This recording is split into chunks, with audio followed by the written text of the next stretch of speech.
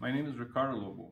I'm the CEO here at Beontag for the last eight years, and I had the opportunity to be participating in this fantastic uh, industry that we all take part in, that is RAIN RFID, for this last almost decade.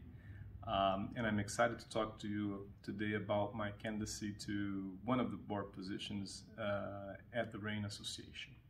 I really think that we could add value given our global perspective, our sustainability focus, and the breadth of our portfolio.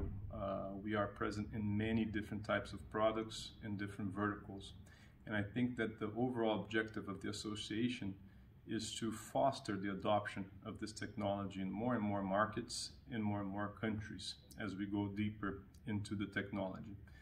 I think we could contribute in a significant way, and I'm excited to bring this perspective to the board and also learn from my fellow board members and from all of you that participate in all the RAIN events on how to make this happen.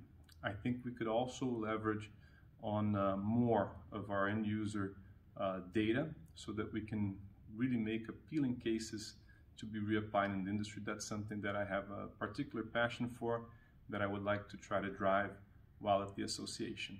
Well, I would like to count with your support.